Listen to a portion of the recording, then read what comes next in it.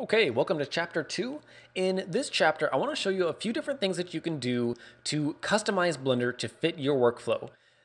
Since you already are familiar with other applications or are likely familiar with other applications, there's a very good chance that you already have a preferred interface layout, some preferred hotkeys, and by customizing some things in Blender, it will allow you to get up to speed faster. So the first thing I'm going to show you is how to customize the Blender interface. So luckily, Blender's interface is very, very customizable. We can use any layout we wish. We can switch between quad view and regular view, or any other number of things. So the first thing to understand is windows inside Blender.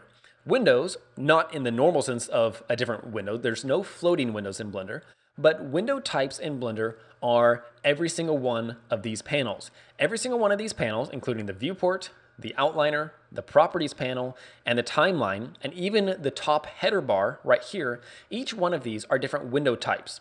And you can change the window type of any active view by using the icon in the bottom left corner. So if you choose this icon here, you'll notice that we then have all of our different editor or window types that we wish to choose from. So if we wanted to switch the 3D viewport over to the graph editor for our animation curves, we can simply change that. Or if we want to change our timeline over to the dope sheet, we can change that. And So any one of these can be changed to any view that we wish. If you want to add multiple views, so let's say if we want to do a dual viewport layout here, or maybe one side we want an image editor and the other side we want the viewport. There's two different ways you can do that. One is to use the split handles that you'll find at the bottom left, right here, and top right of every single window. If you just hover your mouse over these, and then left click and drag in the direction that you wish to split. So in this case, if I want to split this view here, and I use the top right handle, I can just left click and drag and draw across there and it will split that view, duplicating whichever region that I currently used. So now I have two separate viewports. Each one of these are independent, but of course show the exact same content. If I then change this view over to the UV image editor, I then have two different views that again I can use for different purposes.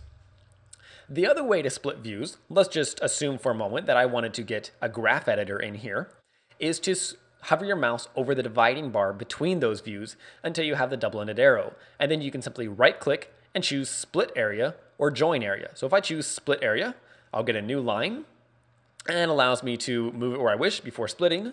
If you wish to change the orientation, just middle click and it will change the direction of the split. When you're ready to split, just left click and you now have two views again, again, which you can then change the type. If you want to merge these back together, so if I want to just get back to one view, I can either use the handles here again or by right clicking. So if I wanted to use the handles, the way that you do it is you drag towards the window that you want to merge into. So if I want to merge into this view, I'm going to click and drag here, left click up, and I'll get an overlay arrow. At this point, I could actually reverse the direction, but I'll just go ahead and confirm over that. And now I just release my mouse and it will merge those two together. The other way to do it is by right clicking with a double-ended arrow, by right click and choose join area. And then you can choose which one you want to merge over. So I'll just merge over here, giving me back to my 3D view. Now, once you're done customizing this, you want to go ahead and save your defaults. The way that you can do this is by going up to File and Save User Settings. The one thing to be aware of at this point in Blender 2.63 now I'm actually using a release candidate since this, this will be available very soon.